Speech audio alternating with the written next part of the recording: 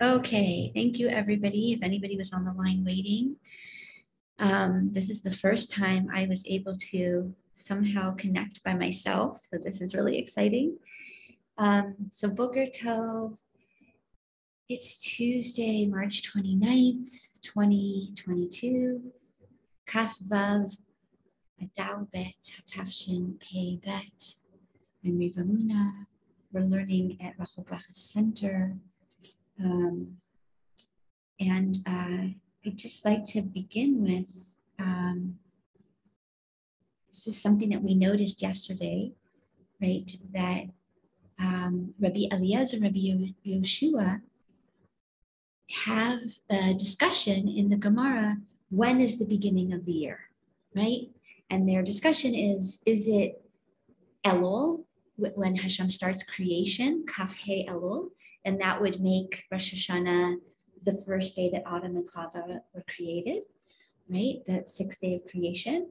Um, or is it Adar Nisan, right? Same thing, but on this side of the year. So, um, and of course, like any good piece of Torah, it's both, right? It's about integration and about layering and allowing space for everything.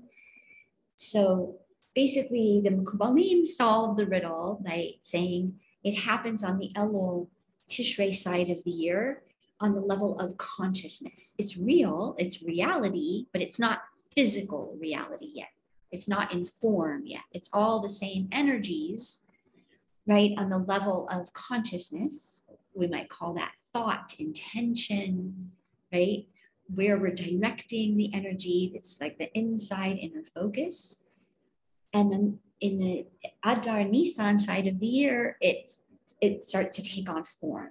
The same energy patterns, but now we're seeing it, right? In actual physical, seeing it, touching it, hearing it, smelling it, you know, um, in actual reality. So, having said that, yesterday was Kaf He Adar. So that yesterday would be the first day of creation and that as it comes in from this half of the year, which is number one, physical, we said, right? Number two, this half of the year is known as the half of the year of the chasadim, right? In other words, free, harmonious flow of energy, right? We spent this, the fall and the winter in what's called in Isarusa dilatata, right? It's very effortful. It's very much about breaking through limitations, facing off against darkness, choosing light, right? Um, doing a birur, in other words, doing a clarification of my will. What do I really want here? And how do I know what I really want? I get pushback. And that pushback first of all, becomes a mirror for me to tell me how hard am I willing to fight for this thing? How much work am I willing to do to be ready to receive it and have it and integrate it and then birth it and express it, right? And I, I know that part of how I know that is because Hashem gives me pushback. And that that's like flexing your muscles at a gym, right? It's it's building your will, it's building the vision. If you're not so invested, and there's pushback, good morning. If there, if if you're not so invested and there's pushback, um, then you're like, yeah, who needs it, right? That's part of what the the the effortfulness is about, right? It checks where we're really holding about something. Yeah. So we also call that that side of the year also the gvurot. In other words, it's a time when the light is more hidden right? It's it's getting in contact with more hidden parts of ourself subconscious and the unconscious right? That are sometimes driving the car and we're not even aware that they're driving the car. But now we are coming into Nissan, and Nisan, first and foremost, is a gigantic exhale, right? Just as it is on the level of um, nature, by the way, right?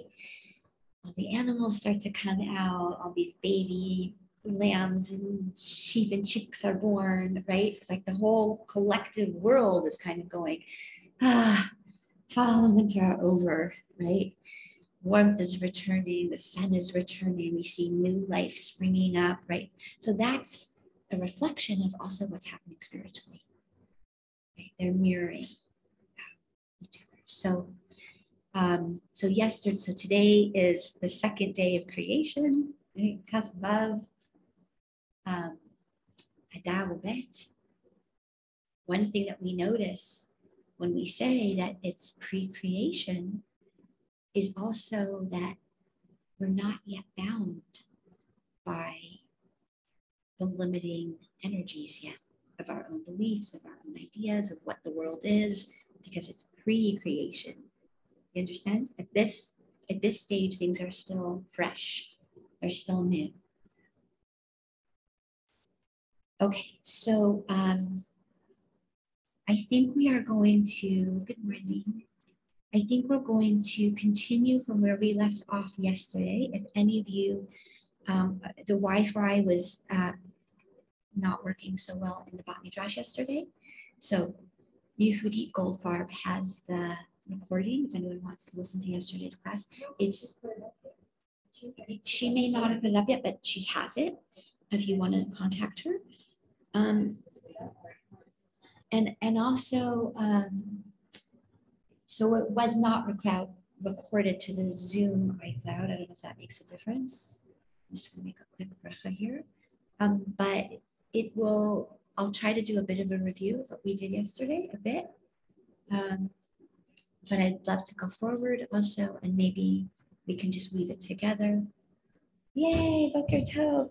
I got this set up. I don't know how. I know. So it's like a huge l'chaim, l'chaim, l'chaim.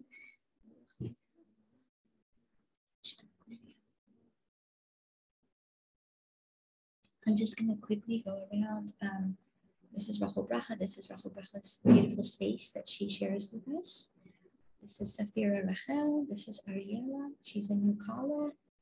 And they just moved to Tzfat. And this is Rachel Leah Welcome, everybody. And then I don't know if we have anybody yet on Zoom. Um, nope, nobody yet. Okay. Okay. This perfect timing.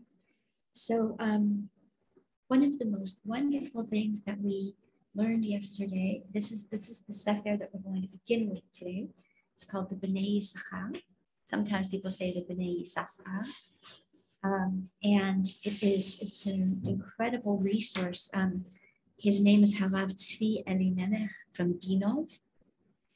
And um, it's this amazing, amazing resource for, um, he quotes a lot from the Arizal, from the Zohar, from Sefer Yetzirah, of course, also from Gemara, from Mishnah, um, about the energies of the month, right? To the deepest depths. That, like he's, he really touches the heart of everything.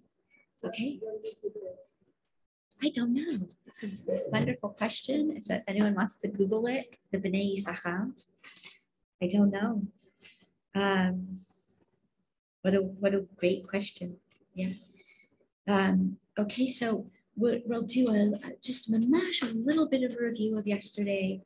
I know it may be a little frustrating those of you who weren't there, but um, maybe we'll do like this. Feel free to jump in and, and ask questions and ask me if you don't remember uh, sorry, if you don't, um, it doesn't make sense to you from yesterday.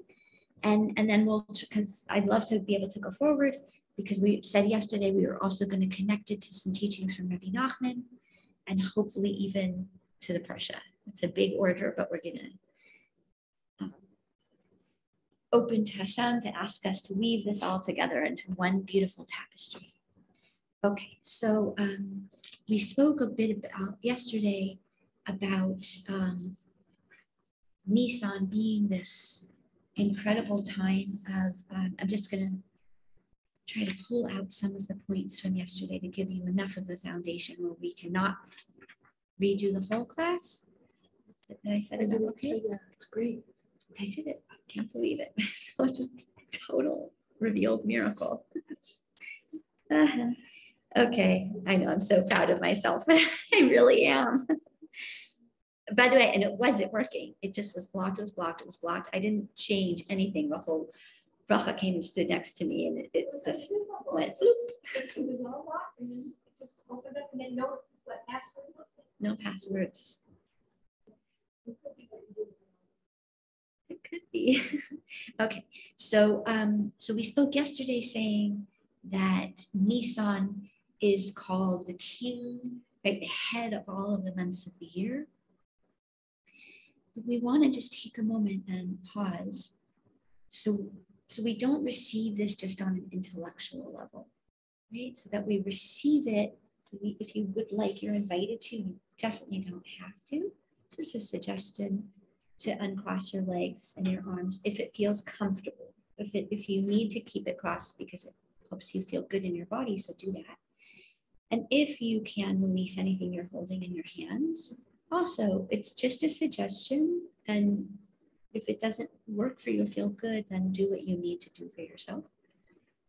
Um, and it's just because we want to set an intention to of das, dat, right? Of hitkashut, of joining our souls together. So that also opens us to both to share light between our souls so that whatever we're receiving is also bigger than each individual who's here and who's on Zoom or who might be listening to a recording. In terms of input and output, right? Where, where we have our own individual energy capacity in a battery pack, what we're able to take in, what we're able to transmit, what we're able to elevate, what we're able to um, to give back out, you know. But when we're in a shared space, so we get quantum um,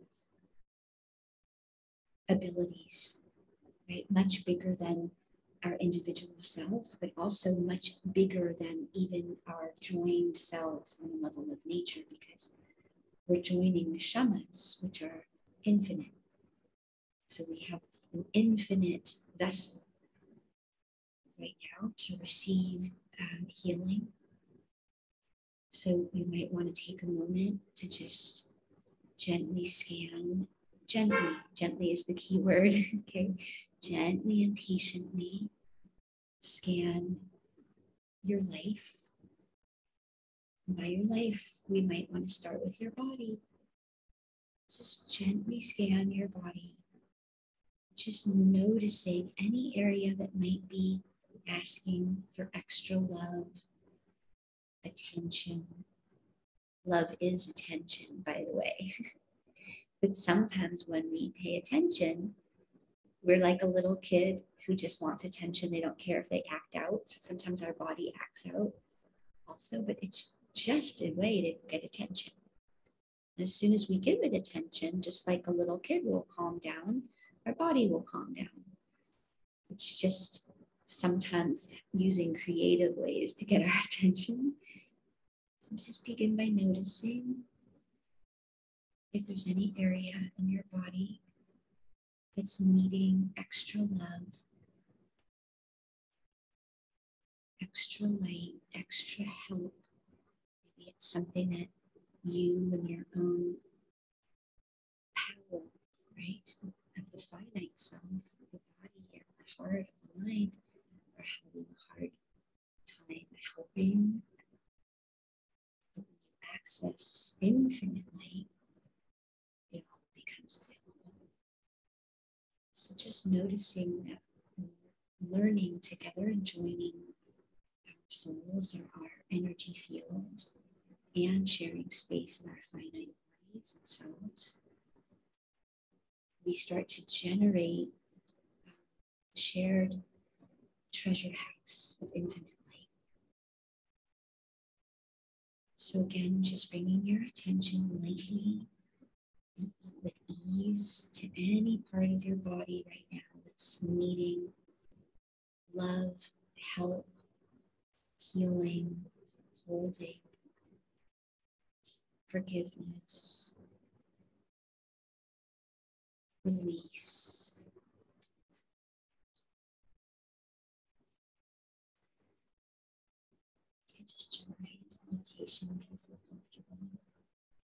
And now just scanning in however way it feels, just with ease and gentleness, your emotional body, so your feelings, felt sensations. And again, it's very effortless.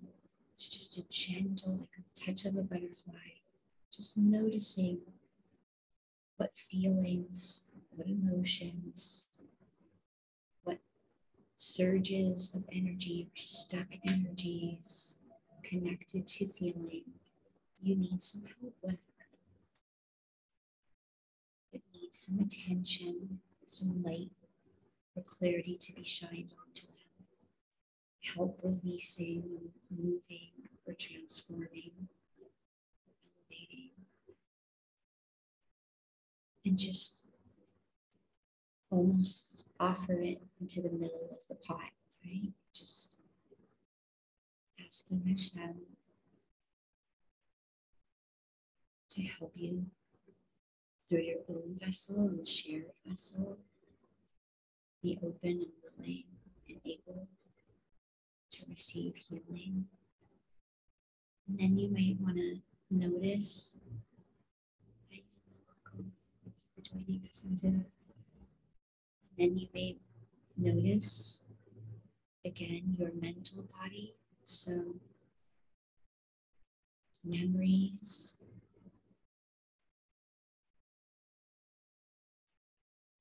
ideas, stories, that you're carrying and holding that you need some help with.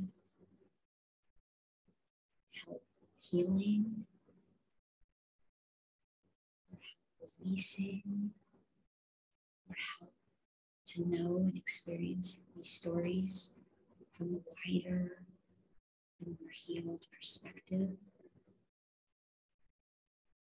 Experience and vision. You might also notice and just scan any relationships in your life. And it's not necessarily, it can be relationships with people, relationship with your own being, relationship with parts of you that you feel in conflict with, maybe ashamed of or afraid of. maybe parts that you have a hard time loving and accepting, parts of yourself, finding it hard to believe that other people could hold or forgive or accept those parts of you. You're not even sure how to do it for yourself.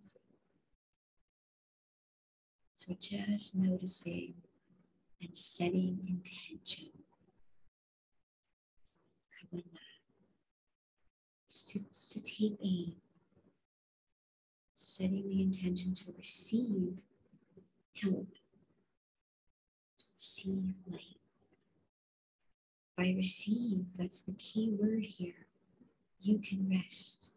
It's no longer up to you to figure everything out on your own and solve everything on your own, and direct everything on your own, and control everything on your own and carry everything out on your own. You can because there is help and consciousness available to you that's bigger than all of that effortfulness.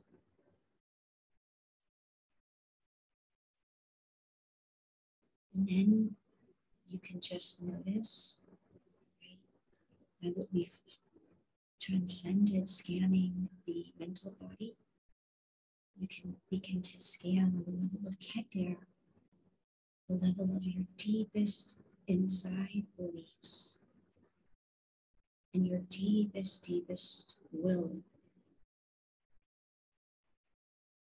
And your relationship with pleasure. Perhaps some of those things are out of balance. Or perhaps you feel disconnected, feels too painful, perhaps to want something deeply anymore or to believe it's possible for you, even though there's other parts perhaps of your heart and soul that do still yearn long for those levels of consciousness or those things. So just noticing in the most trusting and loving and relaxed place, noticing where you need help, noticing what you're no longer able to carry through your own self will, self effort.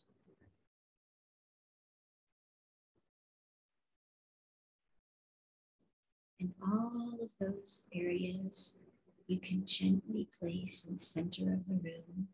If you're on Zoom or you're listening to this at some later time, you can offer it to the center of our shared vessel because, of course, infinite light isn't bound by time or space or physical properties.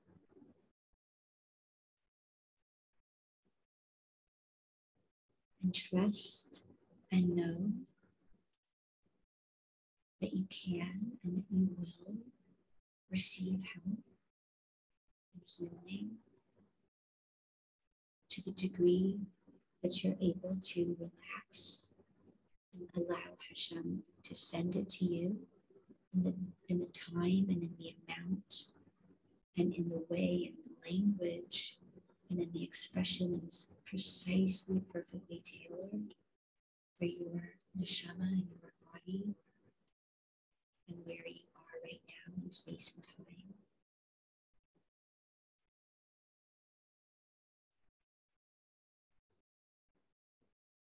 And now, because your own vessel feels held and seen and loved and taken care of, now you have something else that you can also share and give because we don't feel so starved ourselves or thirsty ourselves. And we have something now we can share.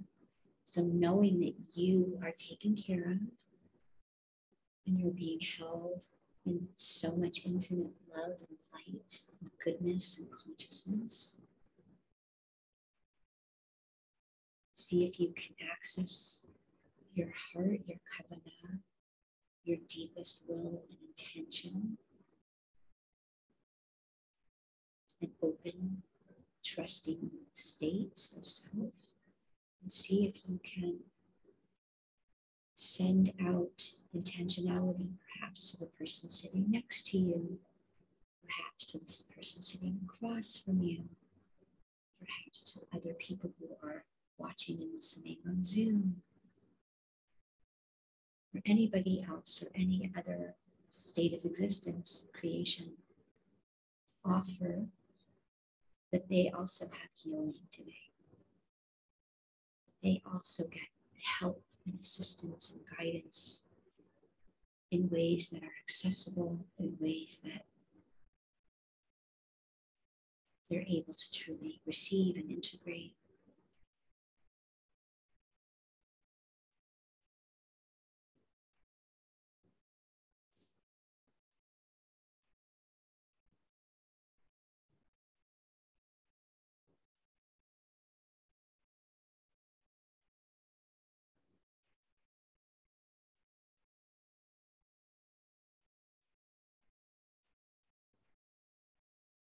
Okay, when you're ready, take a few deep breaths.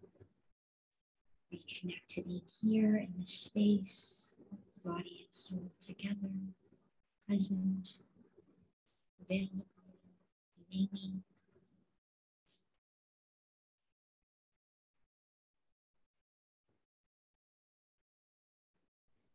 And we'll begin. So Okay, so we said yesterday that the main quality of Nissan that's so exciting is that quantum healing is available.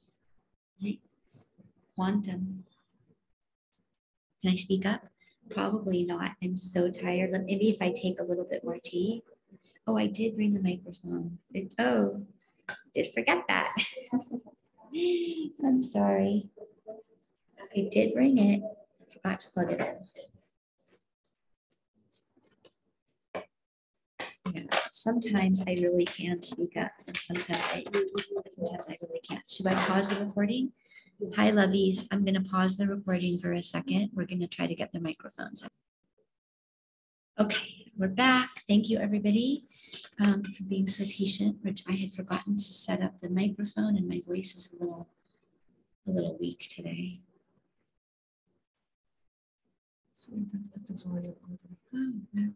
These new things. Should I turn it up? Should it be up? It's good. It's good. Okay. All right. So I think now we're ready to get takeoff. Thank you everyone for being so patient. Okay, so we said yesterday um, it's the king of all of the months. And um, we said the Shevet that it's connected to is the Shevet of Yehuda, right? Which is very significant because Yehuda, of course, is the seeds of Mashiach, David HaMelech, right? Mashiach, literally. And this is the um, Shevet, in other words, this is the energy that begins all renewal.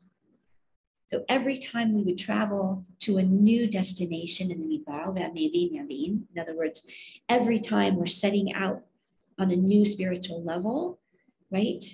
Um, towards enlightenment, towards healing, and, and, and don't get so lofty stuck up there. This is also healing our body, healing our relationships, our relationship with food, our relationship with physical intimacy, our relationship with creativity, right? It's not, don't only stay floating up there, right?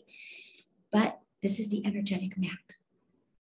On, on the level of the mind, we begin with Rosh Hashanah, but let's not go there now. We'll just plant that seed. But when we're bringing heaven down to earth, when we're in this world, time, and space, and we're starting and to travel through a new story, through a new healing cycle, right? It begins with Nisan.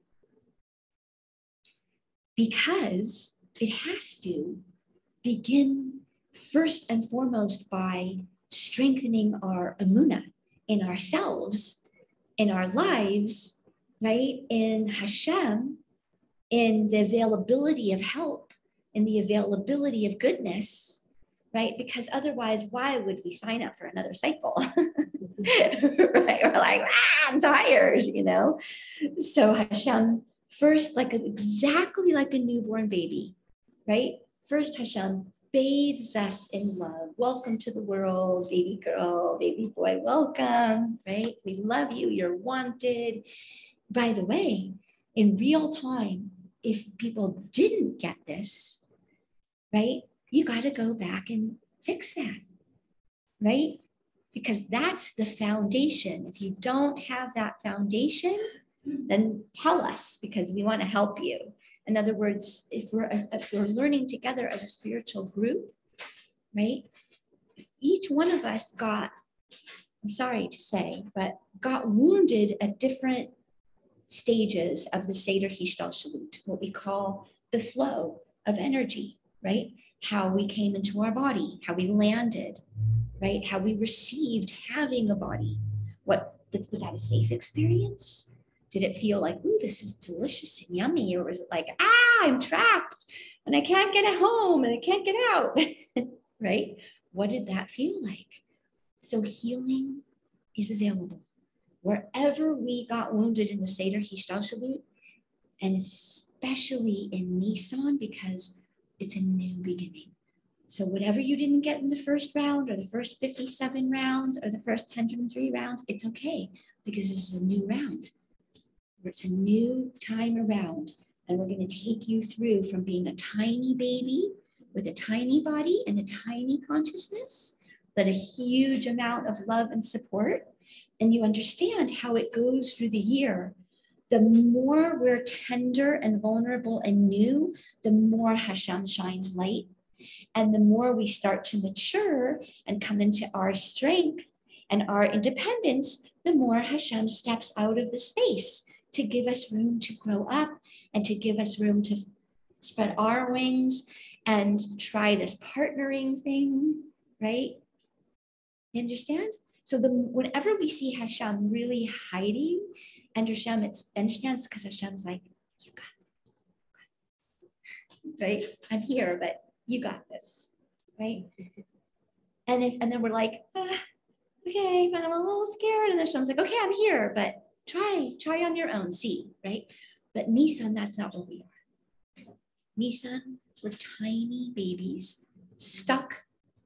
Let's stay where the story starts. The real story is starting right now, stuck in the 49th level of stuckness.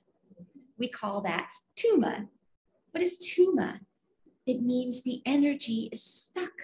We're stuck in some old stories. We're stuck in some old memories, right? We're stuck in some old beliefs. And we've tried our best to get unstuck, but we have a very wonderful Gemara that says a person in jail cannot free themselves from jail. So that old expression, pull yourself up from your bootstraps, does not apply in Kabbalah. We have an awareness that there's a Seder Hishtalshelut, so that which is higher than us can elevate us and offer help. And we in turn do the same until we all get enough healing where we move into circle consciousness. And then we share creativity together, we share yumminess together. But when we're in wounded trauma states, right, then it's hierarchy because some of us are more healed in some sfirot and some of us are more damaged and um, right in other sfirot. And we share and we share that by going this way, that way, this way, right? Offering help and support until the whole system starts to come into equilibrium and balance. Finally, right? Okay. So right now, pre-Pesach night, we get to get in, we start to get in touch with, well, what do we need freedom from? What do we need healing around? Because it, it, the more I can get honest and authentic about what is stuck, the more I can eat my matzah with intention and say, matzah, work your way through my mouth and to this avar and please heal that part of my life. Please heal that part of my body right? Because that's what matzah is. It's a literally a magical homeopathic remedy. And it's it's like what we might call a mother remedy.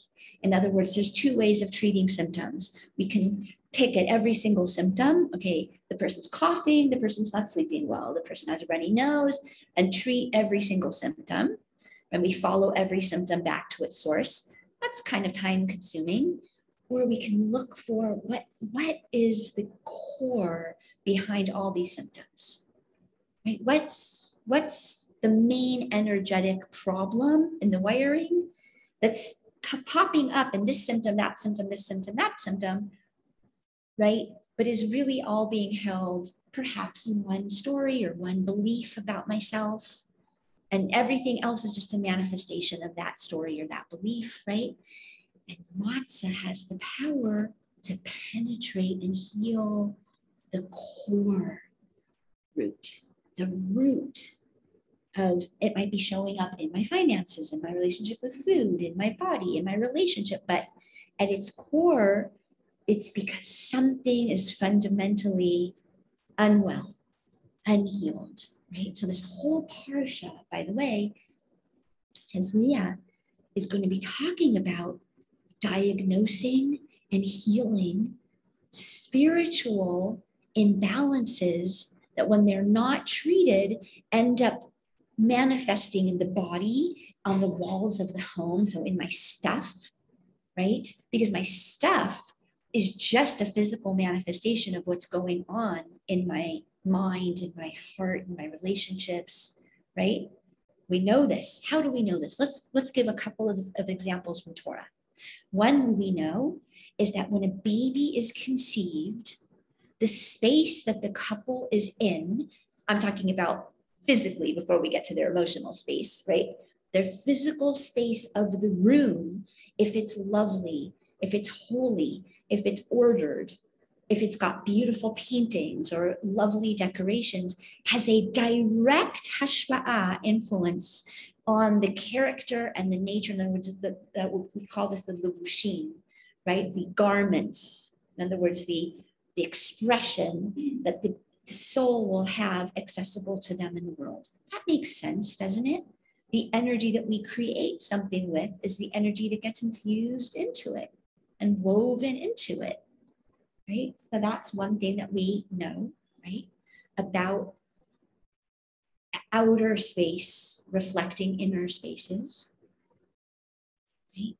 Another way we know this is because we know that if Tzara'at, right, this, um, by the way, on the skin, it was showed up as white or light pink. On the walls of the house, it showed up as dark red or green. That's a louder message you can hear. Right? Although, actually, sorry, that's actually not true because it would come first on the walls of the home, I think, and then it would come onto the person's body, I believe. I need to check that out. Right, I think the I think the stuff was a warning first. I, I think I, I have to look into that. Yeah. Um, okay, but something that we always want to hold in love and consciousness. Skin in Torah is malhut. Remember that every sfira or every expression of energy flows through also a body, a bodily system, such as the respiratory system, the skeletal system, right? Malhut, besides being actually birthing, right? So the um, birthing canal, right? The malchut is the skin. Very, very important for what we're saying here because, right, once something is seen on the skin, it's actually almost totally healed. You understand? When it's inside the organs and hidden, that's the most dangerous time.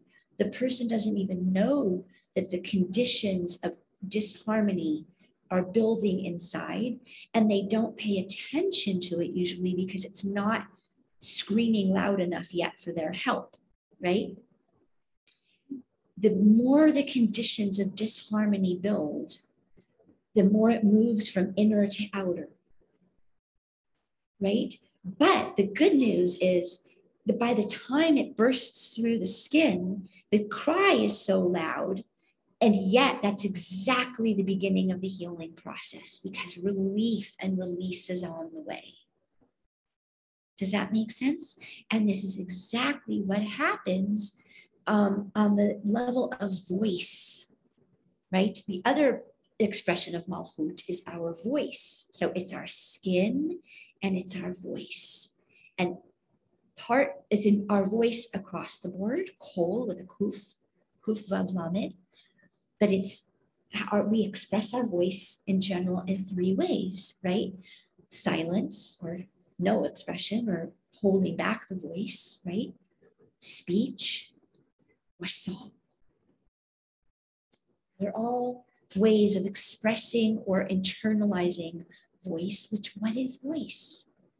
So think about this. What is voice? Voice is the expression, it's the birthing of the infinite light coming into you, moving through you, resonating with your openness or your blocks, bouncing off of those, right? The same way sound waves bounce off of a anything that's in its way, right?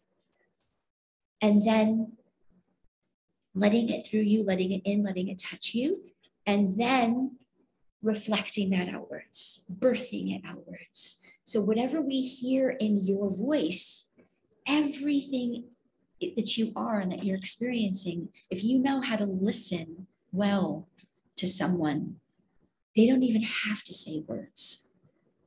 You can hear tightness. You can hear tightness in my throat today. I can hear it. I mean, besides feel it, I can hear it. You can hear and you begin to hear not only with your physical ears, but you allow, right? What was Moshe Rabbeinu doing with his hands in the war with Amalek? He was listening. In other words, his hands acted as antennae to the spiritual condition of everybody around him, right? They became ears. Do you understand what I mean by ears? When you feel the felt sense of the energy and the light and the whatever, right? It's a type of deep listening. In other words, you're receiving, you're listening to what is happening in the space, right? That's a type of listening. Does that did that make sense to anybody? To everybody? Oh, everybody. Okay. Does anybody on? Oh, welcome. Hi. Didn't realize that someone else joined us. Um, does anybody have a comment or a question, either either on Zoom or here so far? Okay. So um, I do question, Reva, if um, somebody thinks something is beautiful and Nissan by the world, um, in the bedroom, can I ask a question? Am I unmuted? Hold on. Hello. Isn't swear to Omer, we get to Malchut Sheba Malchut. Isn't that when we heal Malchut? So there's a level of healing that we begin with, and we said this. We begin with Isarusa de la Ela. We begin with a Nisan with being a tiny newborn baby that just receives help and everything that it needs because it's it's gone through too much. It has to have time to rest and time to just be deeply cared for and healed and believed in. And we can't expect a little baby like to go out and do shlichus, right? The little baby first needs to receive. So it begins in Nisan, it begins on Rosh Chodesh, and then there's a discussion right? As always.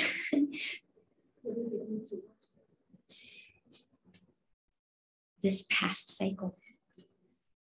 And there's always a past cycle, right? Because we're entering now a new cycle. That's why we're saying Nisan is the head. It's a new beginning. We're getting ready to elevate a whole other cycle now. Whatever we did from last Nisan, now it's going up. And by going up, I mean, it's going up and down and up and down and up and down, but up. You understand, right? Sometimes that's that's how we elevate. You know, we go like this, but each time goes a little bit higher, and sometimes lower. But that's okay because it bounces. The lower is to right creative one of those movements. Okay. So so Nisan becomes also Rosh Chodesh of Kings. Now understand that Chazal is winking at you when it says this. It's Rosh Chodesh of Kings, okay, actual kings, but we're all kings and queens. It's Rosh Chodesh of Malchus.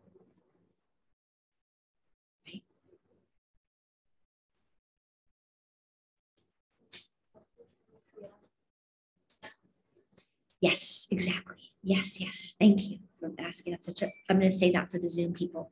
Um, so Ariella asked, so is um, is uh, Nisan connected to Malchus? Absolutely, yes. Yes, and you'll see that's the whole theme of the Seder, transitioning from slavery. What's slavery? Slavery doesn't just mean the physical land of Egypt. Slavery means for the, the 49th level of Tuma.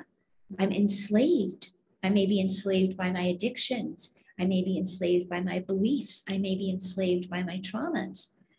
I may be enslaved by old thinking patterns, right? Uh, whatever it is, we each have it. We know that, right? And it shows up differently for different people. Some I've noticed, like sometimes it shows up with people telling me all the time they're not enslaved by anything. I don't believe that because I, I've just never encountered a human being that's not enslaved by anything, unless perhaps they're the Rebbe. Um, usually, when people tell me that, I feel that there's a certain level of resistance or denial happening, right? Not that everyone has to be writhing on the floor in pain, but right there, there may be a certain disconnect from allowing emotion in or allowing a certain sadness or allowing um, a, a letting go of certain relationships if it's their time to be released things like that right? Of course we want to in, invite joy as much as possible um, but allowing that joy to also give us strength to show us where some energy may be stuck. That's what that's all we're saying right? Okay so the month, the Shevet is Yehuda. And we are we were we're speaking about um, the, the Geula in general. Geula in general. So let's pause there for one moment. What do we mean by Galut and what do we mean by Geula? If we're saying we want these things so badly, then let's get a little clear about what it is that we're wanting, right? But what are we, is there a shared definition, right? Through the lens of Kabbalah and Hasidut. I ask you to put some more boiling water in here? Thank you. Just, yeah, yeah, thank you so much. So we will wait for you. Can you hear from the kitchen? Um, so, sorry, does anybody have a question or a comment? Just we're waiting for one second just to get a tea update.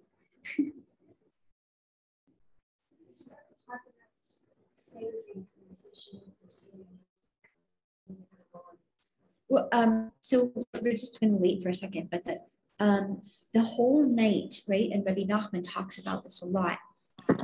We're sort of weaving the two stories together slave mentality and being a queen or a king, right? And all the different um, remazim, all the different hints on the table, right, are holding either one or both of those energies together right? You, you know what I'm saying? Sometimes they're mixed, sometimes they're mixing them, like like dipping the, the fresh green sprig into salt water. It's the blending of those. We're sort we're getting freer, but we might still be stuck in some stuck energies, right? But we're that's the that's what's happening the Seder night. We are getting freed by something bigger than ourselves. Right? You understand? because we don't birth ourselves. When we come into the world as a baby, it's a very thank you, thank you, right? We don't birth ourselves, we get help. We get birthed. Um, you had a question. Yes, we're talking about So that you're saying starts now in the sun. going through the process of birthing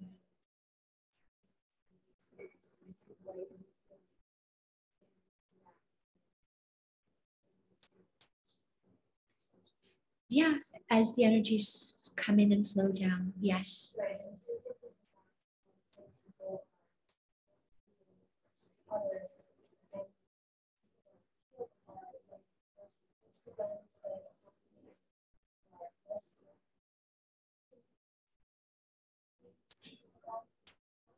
Okay, let me say the question for the Zoom people.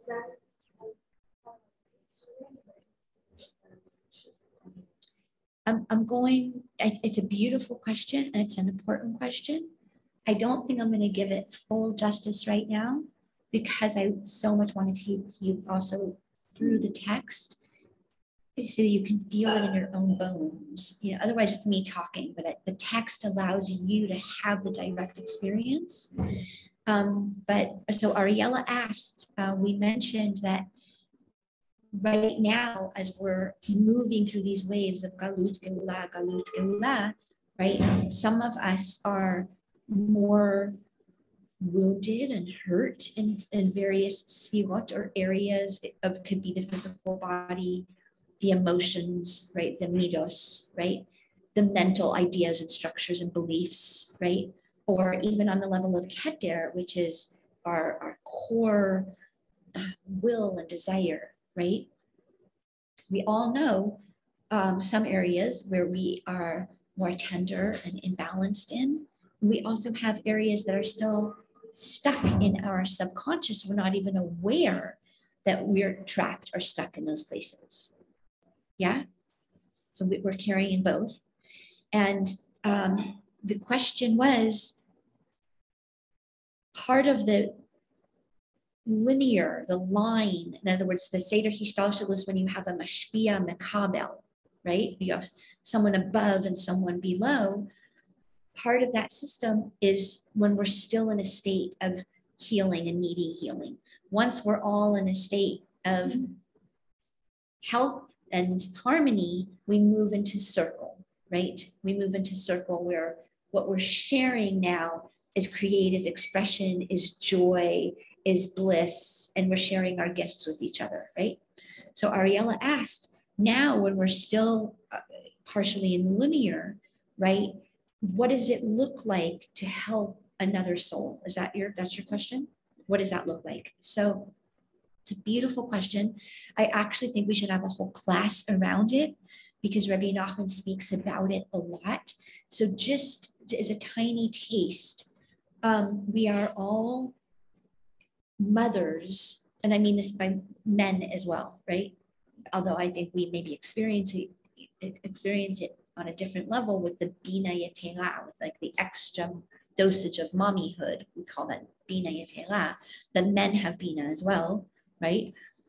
In other words, we are all carrying not only our own soul, right? But each one of us has energetic wiring that feeds energy into other souls. And we also receive energy from souls, if you want to think of it in terms of wattage, right? A Rebbe or a tzaddik might be a thousand watt bulb. So they are igniting, right? And sending energy. And, and by energy, we mean um, healing and strength to have a strong enough vessel to actually source energy from the ultimate light bulb, the source, right? Because that light bulb never diminishes. It's never depleted. It never is, it's an unending source, right? But, right, so you can you feel this in your body that depending upon your own state of balanced energy, input and output, is what is available to you to help other people.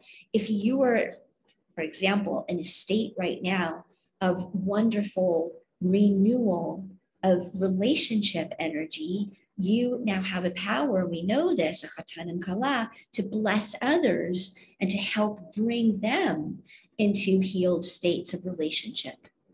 Because you, in other words, when you have it, it becomes available to charge other people, right? It's same way like, you know, a car breaks down and someone lends their jumper cables and someone borrows energy from someone else's battery. And it doesn't deplete, you understand? That's the beauty. When we hook up jumper cables to a car, it doesn't drain that pers- that that that car battery, right? Whereas we can experience sometimes that on the level of human beings. That's because we haven't yet learned how to source and resource, right? Brachas, um, mitzvahs, Torah learning, singing, nigunim. These are meant to be times when we plug in our own battery. Every Chag, every Shabbos, every Rosh Chodesh it's possible for us to get huge downloads of energy. And right, and then what do we do with that energy? Right. And the idea is we first, first and foremost, right, in Ena Nili, we first allow that energy to heal and rebalance us. And it because it's the, the oxygen mask, right, on the plane. The stronger our own vessel is, the more we can truly be available for others, right? That's something that I wasn't taught growing up. Uh, and I, I thought that love meant to just deplete myself and give everything and anything, and that that, that was love. I, that it was the Shem Shemayim, that, that that's what Hashem wanted, that that's what I was off. It was a mixture of, for sure, I was off. It landed on trauma spots inside of me. And the messages I got were probably transmitted by other wounded people. So all together, right? But now we're, we're, we're, we're healing, we're maturing, right? And and of course we don't want to go to the other extreme of, of, of, narcissism and it's only about me and i have to put myself first and we know that can be also imbalanced. We're talking about obviously balance and harmony. Nothing in an extreme state although sometimes we have to be in an extreme state temporarily as part of the healing process. Again we know this. We know these things in our body in our experiences. So um, there are the people that we know consciously that we influence. But now Rabbeinu, Rabbi Nachman teaches us a secret that you don't know this, but there's a guy in China that every time you speak to your husband nicely, he gets a download of strength and energy and hope. This is what Rabbi Nachman teaches us that there's a web of connectivity, the same way there is, by the way, we know this now in plant life, that they communicate underground, right, for thousands of miles and even communicate through the air, right? We do the same thing. We're just not aware of how far reaching our influence is and our choices go. So that when we're about to make a choice, when I, especially when I'm in my Mitzrayim space, I'm so self-absorbed that I think I'm only affecting me and myself. Mm. And who cares? It's my right to self-destruct if I want to, right? No, because I mean, I believe that when I'm in my self-destructive space, right? But if I get a little consciousness, I'm like, whoa, first and foremost, I know that it's going to hit my family system right? Any illusion I have that I can self destruct and it doesn't ripple out, right? Now I have Grateful Dead ripple going through my head. That's how my brain works. okay. Um, thank you for giving me such an interesting brain. Um, right? It has a ripple effect, even energetically, in this in the spaces that we share. Right? But let's always take this message and instead of it allowing it into close us in fear, like, oh my God, right? We receive the message and we elevate it into, oh wow, how powerful every choice for life is. Every choice to just eat something healthy in that next meal and not something that is going to cause me physical, emotional pain or whatever.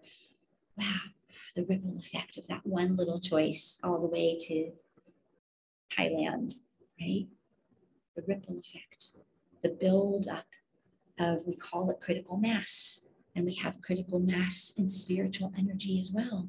The buildup of good intention every time you put this is what people come and say, I've said this, so let me not make about other people, right? Oh, I, I've davened and I davened and Hashem ignored me and Hashem didn't hear me and there was no answer and Hashem doesn't love me and Hashem's left me out, right?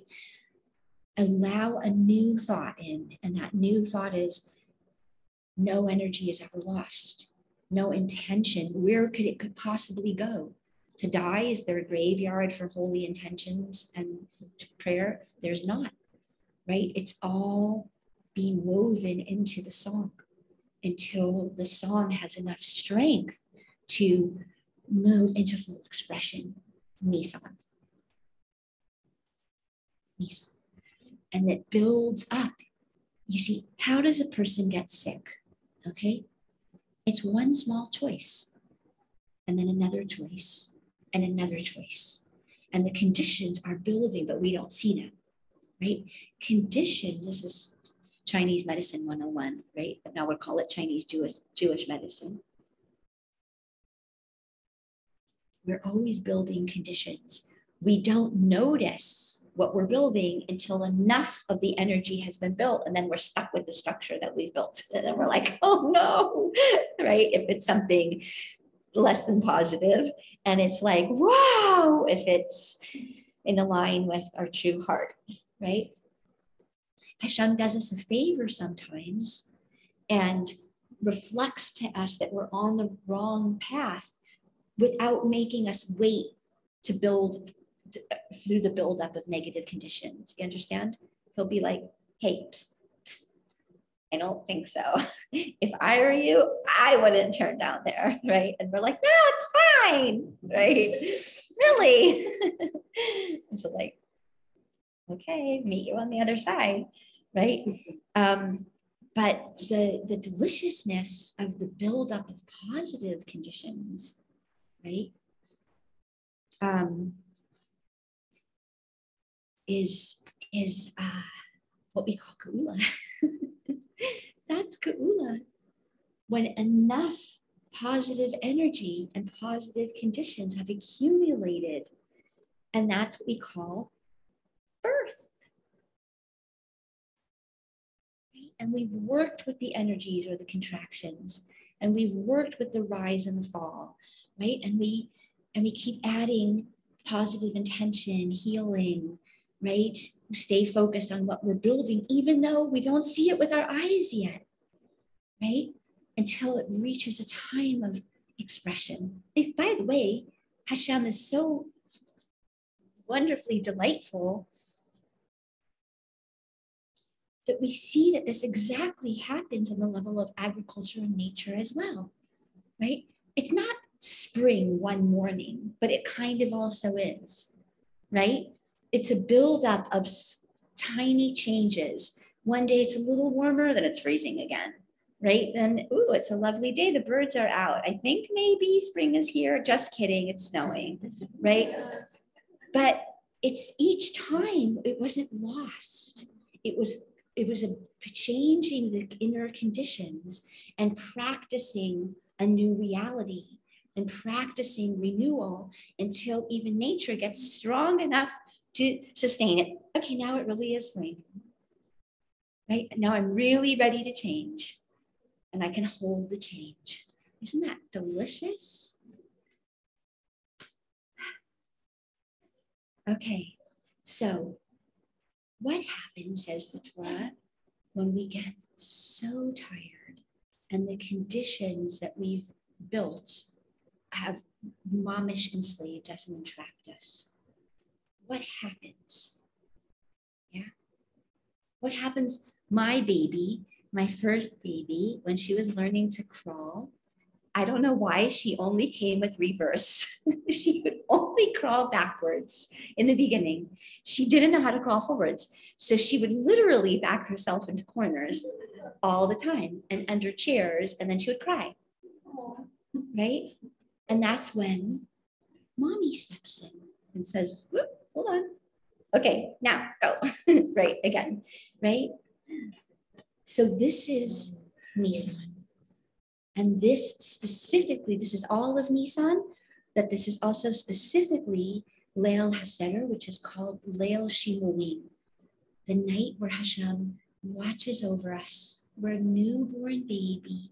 We don't even have to say Kriyat Shema Mita that night because it's not a malach, it's Hashem herself, her, himself, itself. Sorry, we don't have the language yet. Hashem in, in Hashem's essence, right? that has a protective energy that is holding us in such love and such tenderness and newness. You know this, right? You know this about Leil Seder? It's called Leil Shimurim, the night that, right, I will watch over you. I, not forces, not a malach, me, Hashem, right? So yummy. By the way, Start now. Make a machberet. Bring it with you to the Seder. Go big. Go as big as and unlimited as you can. Ask and ask and ask. But let your heart get out of jail. Get a get out of jail free card, right? Ask, right? Because part of what we're talking about getting freed is malchut peh, is when you're what you're saying, what you're praying for, and your true, deep honesty, right? The honesty of your life and the honesty of yourself line up. You're not lying to yourself anymore. You're not asking for one thing because that's all you think that Hashem really sees you as, but really your heart is holding somewhere else, right? You understand? Or like, I'm willing to settle for that, but it's not really, right? No, malchut peh, right? The redemption of speech, which happens all of Nisan, but very deeply on the Seder night, right? Is that, and we'll, we'll say in a minute now, we'll give a map of what is Galut, what is Geula. We were going to do that before because you understand it happens on multiple systems. There's a galut and a geula of physical intimacy. There's a galut and a geula of our speech. There's a galut and a geula of our eating. There's a, right, and there's a general remedy, if you can't get that specific, right? We get different healings, different months, but the general remedy is Nisan and ER, by the way, but let's just not go there right now. yeah. But it's a Leil Shimurim. It's literally like a little newborn baby. That's how tender it is and how much love there is. So ask big, but but again, it's a it's a healing that what we're asking is what we really, really want. Right? Let it get out of uh, out of galus. Because sometimes what we're asking for is, is we're, we're, we're attached and we're stuck on a specific story. And we think that's what we what we're asking for. But if we go deeper we understand we're asking for something much bigger much wholer right? And don't be afraid to ask for the small things. I mean small right? Nothing small or big you know in the light of, in, of infinite but it's small to us because it's something in a finite form or state, you know? Okay, so let's give, let's give a little energetic felt sense map of Galut and Geula, because this is what we're talking about. It's one experience and then moving through that and transforming and changing and moving into something else. Okay, so Galut. Maybe the most simple way we can experience is galut is where in our life are we experience experiencing the stuckness that's a word of flow. Is a relationship stuck? Is my health god forbid stuck? Is my relationship to my own body stuck when i breathe do i feel areas that are tight constricted? Are there areas? Um, I, I, was talking to a woman who told me she gained weight and she, she never looks at herself in the mirror anymore because she thinks she's so ugly and unlovable. She doesn't want to even see herself. That's galut. It's me being exiled from parts of my own being, judging them, exiling them, saying, You're not lovable you're not acceptable. You're not allowed in the room and you're not allowed in the space. And if you're in the space, you know, you gross you, at least you're not allowed in my heart and you're not allowed in my acceptance, right? That's galut. That's the first primary doorway, entryway that we've all experienced, right? Being disconnected from relationships start within your own body. You'll, you'll, you'll find galut there. Are there relationships that you just won't let yourself think about? Okay, now I'm not talking about thinking about in the obsessive recycling thinking. That's just another level of galut, right? You think you're thinking about it, but all you're doing is chewing it again again, she did that. I can't believe she what. And then I, she did that. I can't believe she did that. I can't, right? And we just go, right? And we think we're moving the energy and we're healing it, but we're not. That's galut. That's the being in the midbar and going around in circles. Here I am again. Here I am again. Here I am again, right? We think we're moving the energy, but it's like the little needle on the record player. It's just skipping the same spot again and again, right? So the first level of galut is energy that's trapped or stuck. Okay, there's something in the flow that's constricting, that's blocking, right? That's recycling, right? That's the first experience of what we mean by galut. Does that make sense? you feel that? And so we might do it in our body. We might do it in our middos. So that means we, we, we recycle the same emotions, right? Usually connect as connected to an impulse, to a desire, to an experience that always triggers that in us, right? That's galus. It always goes to the same spot, right? Finds exactly where to hit and gets stuck there. Right? How do I get freed? Every time I think of, I have this, every time I think of a certain person, my body, first of all, goes into gullus. My body goes, right? Like it's just in reaction to the energy of the story that I shared with that person, right? And it gets stuck there. And the person can not even be in the room and I'm in fight, flight, or freeze again, just because I thought about the person. That's gullus. Right? It's it's affecting the flow of renewal, of release, of what's what new energy is coming in. And it's not available to me to use or access because the energy keeps getting siphoned off into these old graveyards of energy, right? Except not really. Hashem's not like that, right? I'm, I'm exaggerating it so that we get the felt sense, but really there's always doorways. Hashem's always giving us doorways out, right? And opportunities for help. When we're ready, when we're ready. Sometimes it has to get stuck enough and bad enough for us to say, I'm willing to release and change because sometimes, um, usually, the fear of change is so terrifying to us. We would rather be stuck in gullus than change because change is scary. And Yeshua knows that too. Because then we'll go, oh, I'm just afraid of changing. It's like, no, no, wait. It's like, ah, you're afraid of changing. That makes sense. Do you understand how the difference between the way an Ima and an Abba would hold it than the inner persecutor holds it?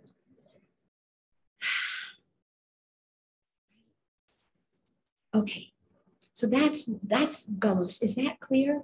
And look at the word galut. We've said this, but I think for some people here and for the recording, it's good to go over it. Galut also has the word in it, gal.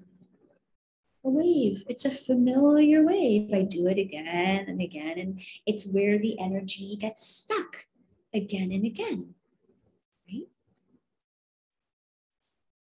And understand it can also get stuck even on the level of a belief. Right? I have a belief about life or God or myself. And anytime a new influx of good comes in, I filter it through that belief and I go, nah, right? And chip, it stops the flow. It's okay.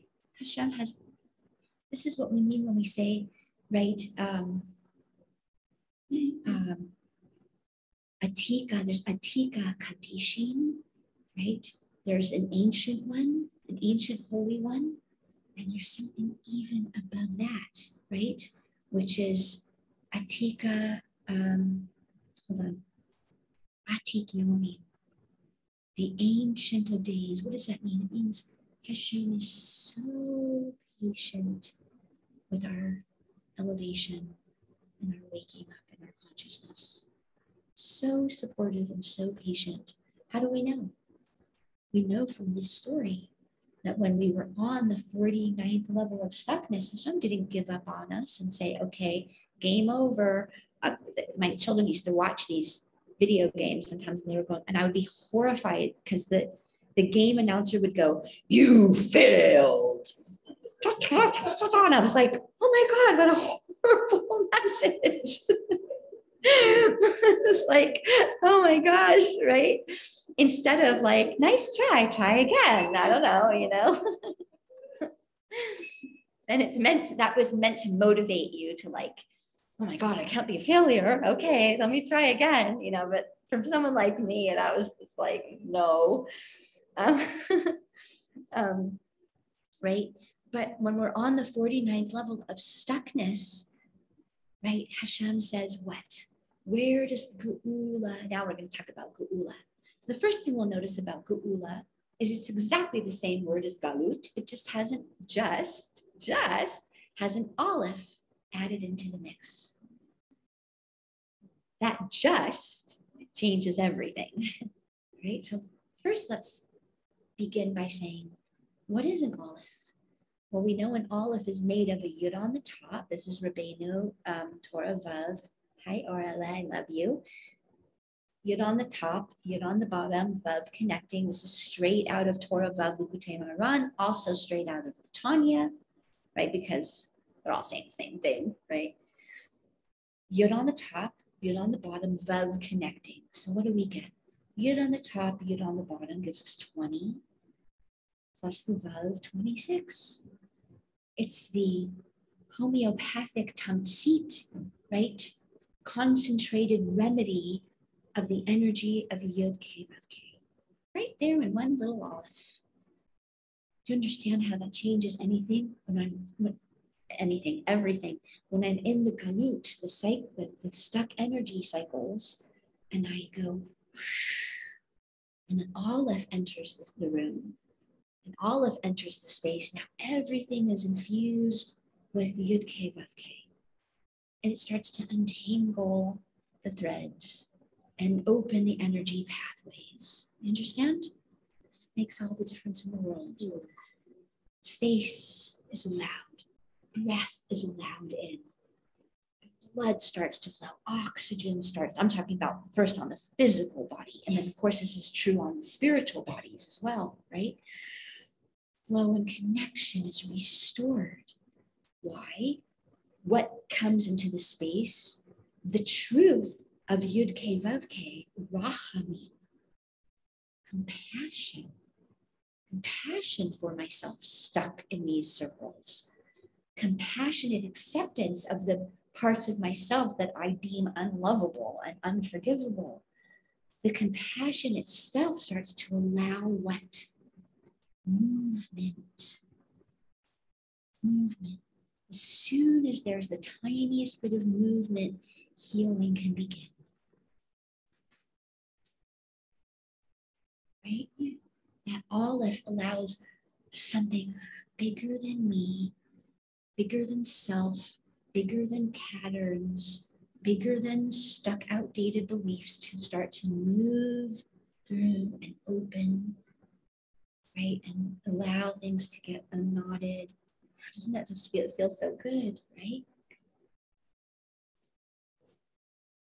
You understand, by the way, this is always the same aleph showing up on the stage. It's the little aleph in Vayikra. It's the aleph in Az Yashir.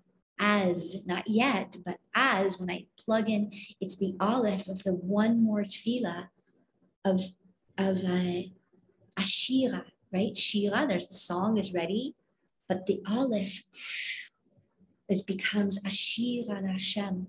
Moshe Rabbeinu's 516th tefillah that unlocks Geula. It's the same aleph, you understand? It's the same aleph all the time.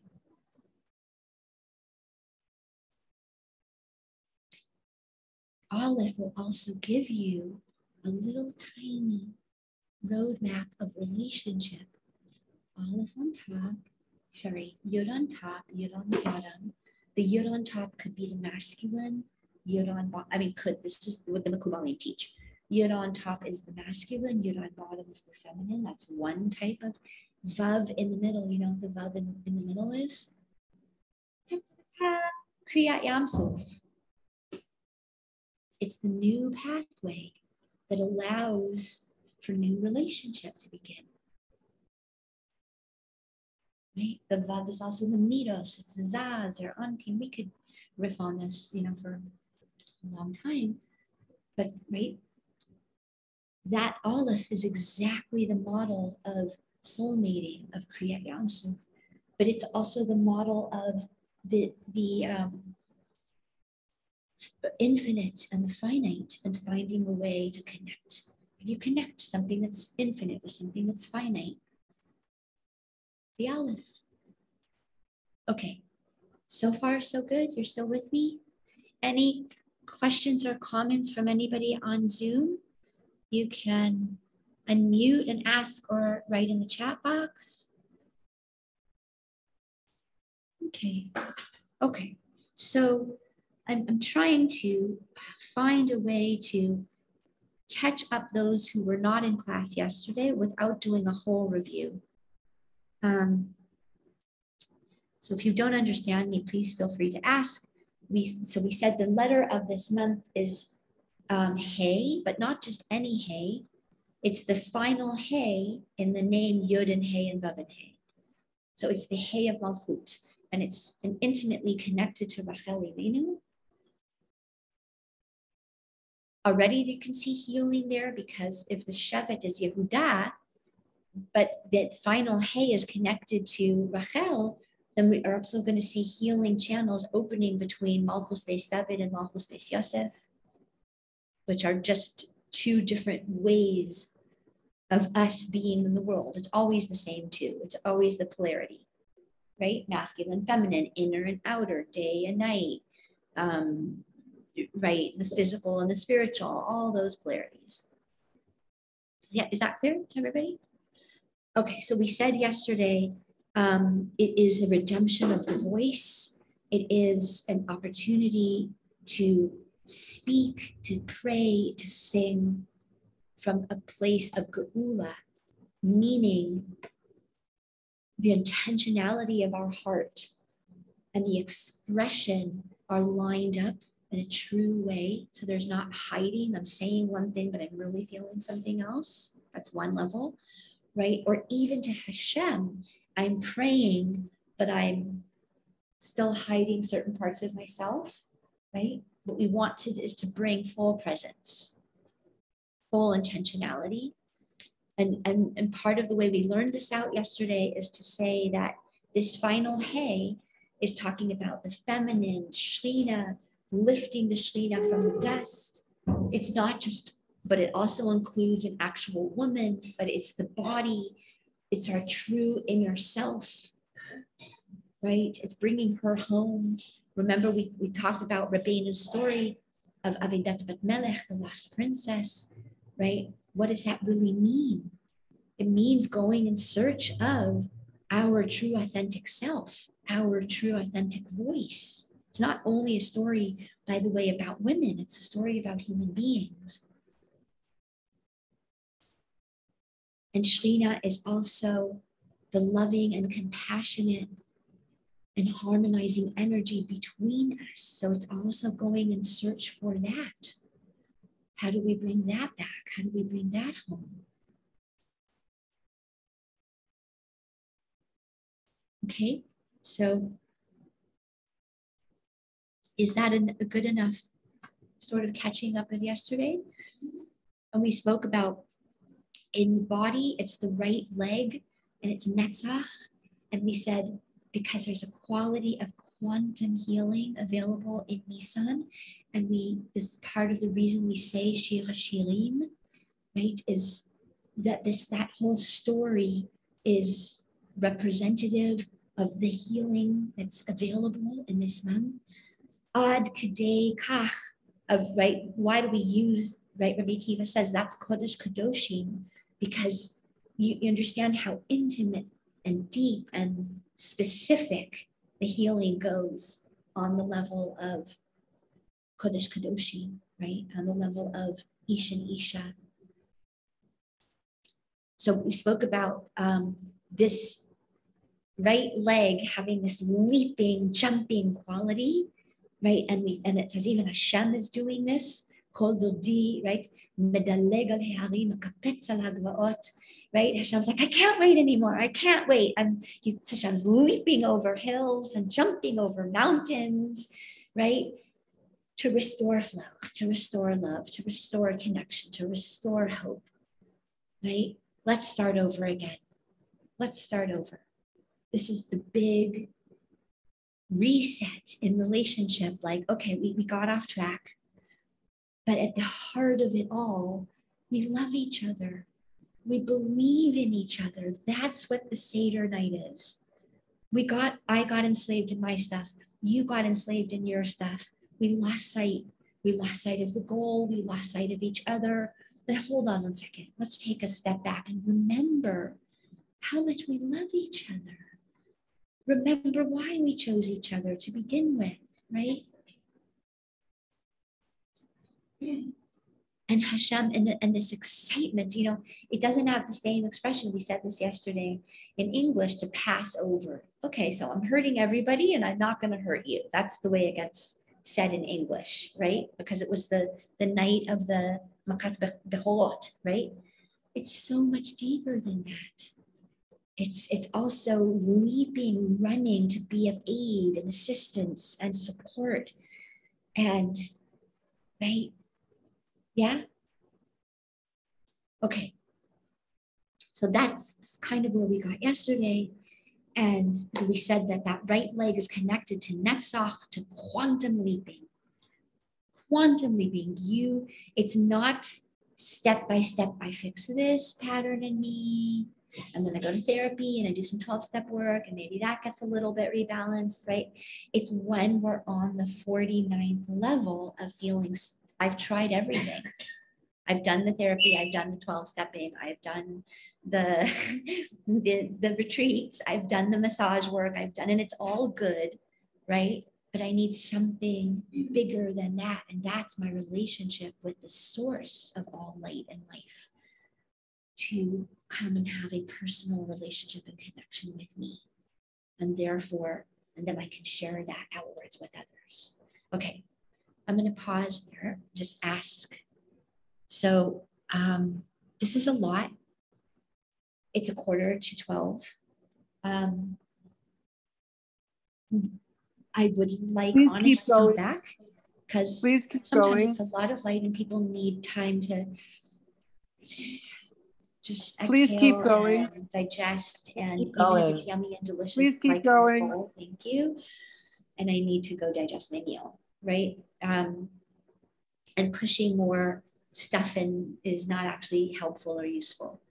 Um, okay, so I'm unmuted. Lana wrote, please keep going. Okay, so uh, maybe I want to open and say this.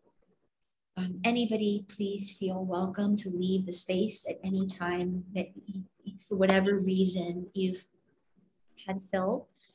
Um, I won't be offended, right? Well, my ego will probably blip for a minute and then I'll come back to normalcy and be like, yeah, we but people have lives. They can't sit all day. no, we can. Um, we can. But no, really, but Mehmet. Um, Keep going. And, um, because there's such a lovely buildup of energy. So, um, so I, I think we should ground it in some text learning and it will be available for the recording for those of you who can't stay in the space.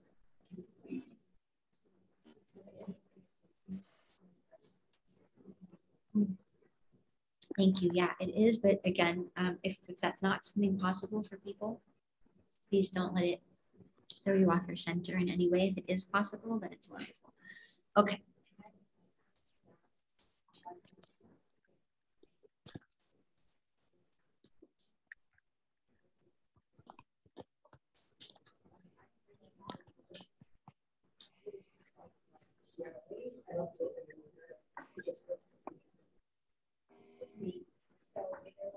I feel very cold. I, I, never know because I, I generally feel cold. So is it not working? I mean, I just feel cold.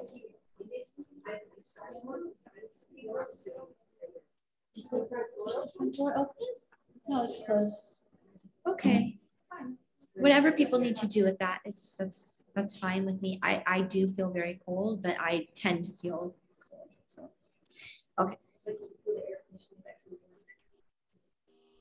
I wouldn't know because I don't feel I don't I don't feel warm. Okay, so we're, we're gonna go back into some text. So I think the goal is for me that we'll we'll go till 12, which is nine more minutes. And then I think we'll leave a couple minutes for questions. So maybe we'll do like six minutes of text and then we'll and then we'll hi and then we'll ask for is that a hand up to ask a question or you're just waiting yes it's okay you have a question it's a it's a hand up, but I don't think I can be heard. I don't know Am why I, I, can't hear you. Do you want to write it in the chat box? Okay. I, wait, hold on, let me check. I unmuted but can't be heard. Yeah, I think that might be because of this microphone. This is like a okay. special podcasting microphone that doesn't seem to let people talk. Let me try it without it for a second and see. Could you try speaking now? Yes, I can try speaking. Can you hear me? You're still muted. I'm sorry. Okay. It's one of those tech difficulties. Do you want to write in the chat? Yes. Uh, okay. Sorry. Racholea will be back in the room and she might be able to, it's way above my pay grade. like, Can you guys hear me though? Can you hear me? No? Can you hear Yes. me? Can they hear me? This is so weird. They can't respond. They can't respond. Can you hear me? Can you hear me? That- She's Okay, but they they unmute, but I can't hear them. I tried unplugging this, but I still couldn't hear them. I wonder why. Oh, I did push automatically mute upon entry, but they should be able to unmute themselves. I don't think so. I don't think so. No. See, Yahida is talking, but we're not hearing her. We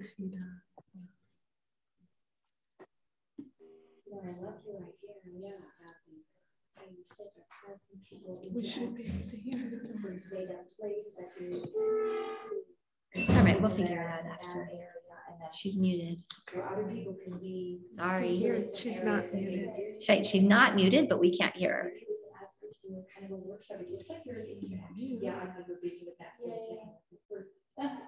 Wouldn't it be amazing if like Am I unmuted now? Okay. All right, lovies, I want to be careful that- with the time. did time. that it's- unmute me? It's eleven fifty-three. Chavush, let's, let's just bring it home. It's eleven fifty-four. Let's try to finish by twelve. So we can just round it. Okay. So, um, oh, I'm gonna wait for a second because I think Racholea will need this for her, for the notes. One of the things that we noticed also wait, I typed. is the sign of the month is the um, taleh, the sheep, right? And we we made the connection yesterday that Rachel Imenu, the, the name Rachel means a ewe, as in E W E, right? As in a sheep. So she's very deeply connected. Um, so I just wanted to say this when Racholea was in the room. So the final hay is connected to um, to breath, to malchut, to birth, to the Aim Habanim, to Rachel, to Shechina, which is the feminine, feminine and the divine presence in physical reality, the divine energy and presence of Hashem between people. Okay. And something that we mentioned yesterday is that Nisan in Gematria is Pe times two, right? We spoke yesterday about redeeming speech and voice, as in Pesach, consisting of the two words Pe or mouth and Sach, as in Siach, right? Right? As, as um, using speech to be able to get us out of galut. Okay, so this is, I think, where we're and we're going to wrap today one minute and say that we have different tools available to us to get help in moving stuck energy in right so we have different ways of dealing with stuck energy right um, sometimes we have to just ignore it or leave it temporarily because we don't have the strength, right, to battle it head on. Um, and what we call that sul mela osetov. And that means right now we're not working on healing that. We're just trying to strengthen the immune system. We're just strengthening the rest of the system with the hope that when the rest of the system gets stronger, it will trickle down into those places as well. We also call that in the language of um, the Tanya, the time, the Avodata Biulim, right? Not even, I would say it's even earlier. It's what we're, when we're, when we're talking about um, itkafia, right? Suppressing sometimes to build up the immune system, to build up the banks of good in the whole system. We don't, we don't head on work with any ill part of the system yet because the whole system first has to be strengthened. That's Pesach. That's why we're eating matzah, which is a strengthening homeopathic remedy to bring us back into the energy of renewal, the energy of um, true emunah, right? What we're doing on Pesach is strengthening the immune system, strengthening the soul, strengthening the heart, strengthening, right? Before we can move on to the particulars in ER of fixing each individual system and body part and organ. And by body part, we mean body part, but also part of our spiritual structure. We can't do that yet until we first bring the whole body back into some state of health. And matzah is a huge part of this. But matzah heals within us, first and foremost, is love, is emunah, is keter, right?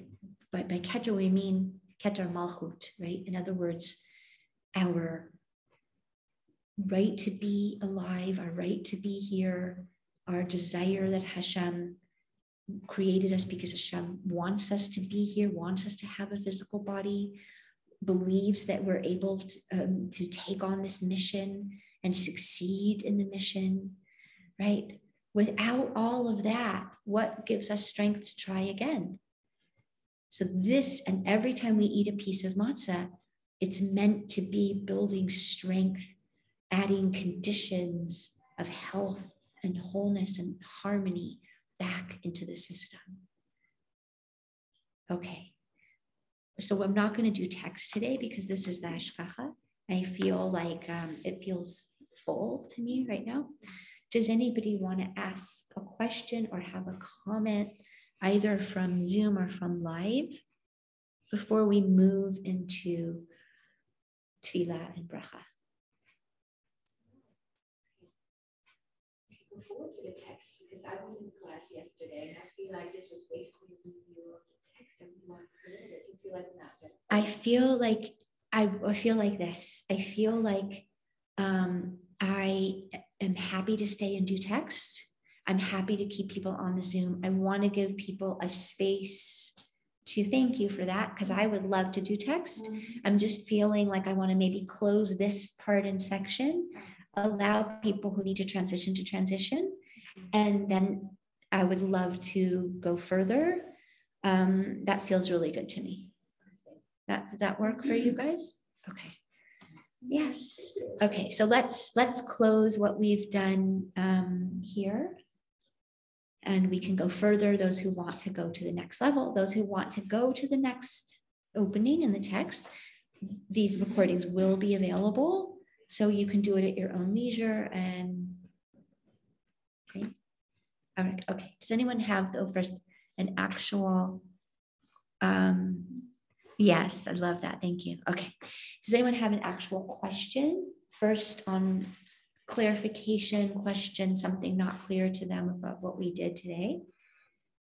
I have a question at the end you, you captured it so beautiful. You said the thing is more general healing before we go into pratim, and in the end, it looks like he gets back to the. It is a cycle, right? Like Absolutely. Pratim to the cloud. Even on a body level, right? We start again with the head, and Adar is the feet. So it takes us 12 months to build an actual structure of a physical and spiritual and emotional body. And we've done that.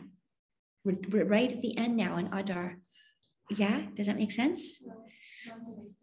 Okay, um, so if we if if we're saying Nissan is a new head, and by new head you understand it's code for new consciousness, new cycle, new beginning. Head is always a beginning, right?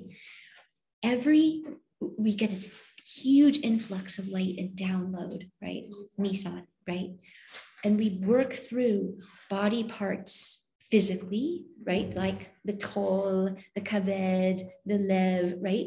Every month when we have Rosh Chodesh, we get an, a general influx of energy, but it also gets directed to a specific body part. And that body part holds and represents a specific emotional energy, a specific mental energy, right? So that right it's too much light to, to do all at once it's it's almost like someone comes and they they have a thyroid problem and they have a leg problem and they have um, a, a sore throat and they have it, right? So we want to first strengthen the whole body. And then we, when the whole body is elevated into a, a higher state of immune support, then we start addressing the individual systems, right? And balancing them like the, the lungs and the respiratory system and the skeletal system, and right? So it takes us 12 months to do that in Kabbalah so that we, the Nisan is the head. And by the time we get to Adar, we're at the feet. And we've built what we call a Komat Adam. We've built a physical and an emotional and a mental and a spiritual structure for our, I'm going to say psycho spiritual, right? It's both. Um, and again, we call it, right, the body mind, right, to journey through time and space. We've built what we call a Merkava, right? A chariot, a vehicle that we drive through time and space. And there's another dimension we drive it through free choice, right? Making choices all the time of the direction of how to channel that energy into what circumstances, into what relationships, right? That's what we mean by free choice. How am I going to spend this life force that Hashem is giving me today? Where am I going to invest it into? Is that a good investment? Is it going to bring me what I say I want? Joy, light, connection, or is it going to bring more pain and suffering? Is that more clear? Okay. Anyone else have a question before we transition into um, Tefillah Bracha?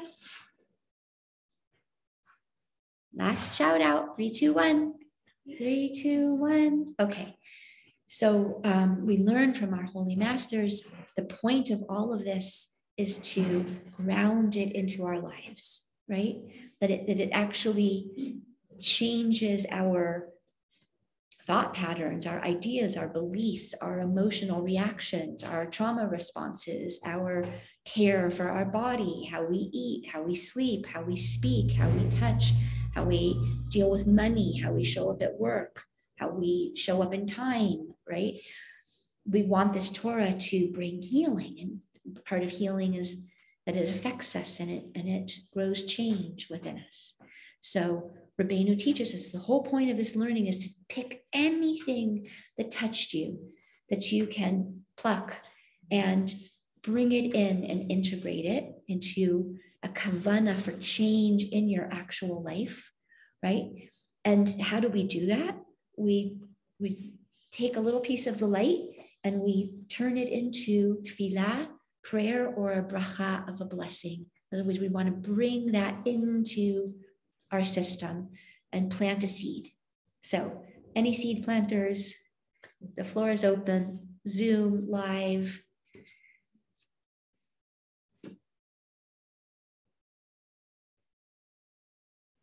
And there's no pressure, there's no need to perform. You don't have to say anything if it's not moving through you in an organic way.